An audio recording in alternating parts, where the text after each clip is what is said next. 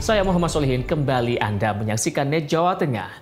Presiden Joko Widodo mengunjungi posko pengungsian korban gempa bumi di Kabupaten Banjarnegara. Presiden berjanji semua kerusakan akibat gempa akan segera ditangani oleh pemerintah.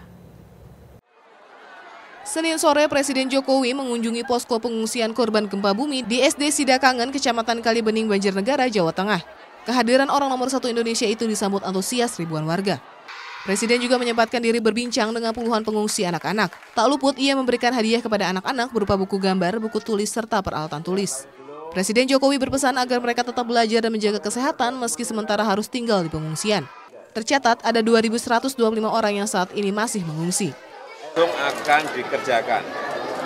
Kita butuh waktu dua minggu sampai satu bulan untuk persiapan, material, perencanaan, dan lain-lain dan kita harapkan dalam dua minggu sampai satu bulan sudah semuanya sudah dikerjakan oleh BNPB bekerja sama dengan Kementerian PU. Pemerintah memberikan bantuan sewa rumah. Ini juga perlu diketahui, bantuan sewa rumah sebesar 500 ribu per bulan per rumah.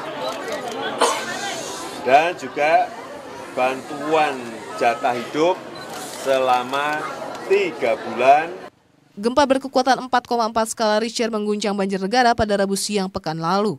465 unit rumah, 4 masjid, dan 2 musola, serta 4 sekolah mengalami rusak berat.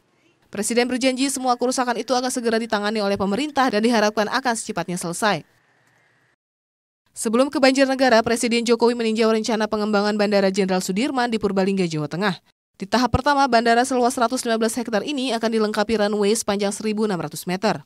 Kemudian di tahap kedua, runway diperpanjang menjadi 2.500 meter dan dilengkapi fasilitas pendukung lainnya.